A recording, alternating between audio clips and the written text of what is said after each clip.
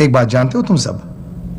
हमारे यहाँ अमेरिका में जब बगावत शुरू हुई तो ना हम लोगों के पास हथियार थे, ना अपने दुश्मनों से लड़ने की ताकत।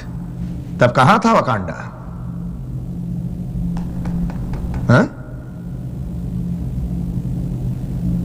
ये कहानी आज खत्म हो जाएगी।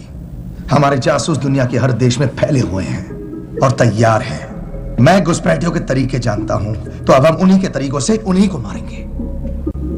ये वाइब्रेनियम के हथियार हम अपने वॉर डॉग्स को भेजेंगे। वो पूरी दुनिया के दबे कुचले लोगों में बांटेंगे, ताकि उनकी गोलियाँ भून डाले जुल्म करने वालों को और उनके बच्चों को और हर वो शख्स को जो उनकी तरफदारी करे। अब वो जानेंगे कि हम क्या हैं। हम योद्धा हैं। एक नया युग शुरू होगा और इस बार राज करेंगे हम।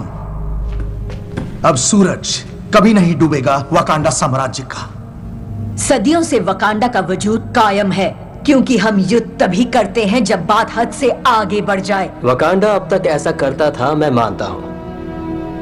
लेकिन अब जमाना बदल रहा है जनरल।